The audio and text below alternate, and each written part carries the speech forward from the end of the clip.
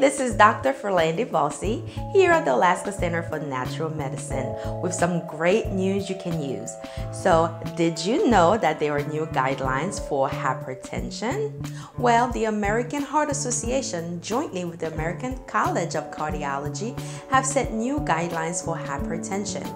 A systolic blood pressure of 130 or higher is now considered hypertensive. So, what does that mean for you? It simply means that if you had a blood pressure between 130 systolic blood pressure 130 to 139 before and you used to be considered pre-hypertensive now you're hypertensive What's the good news? The good news is now more people can benefit from a healthy lifestyle. So, if you include things like a healthy diet, exercise, and you lose weight, you can bring that blood pressure down to normal.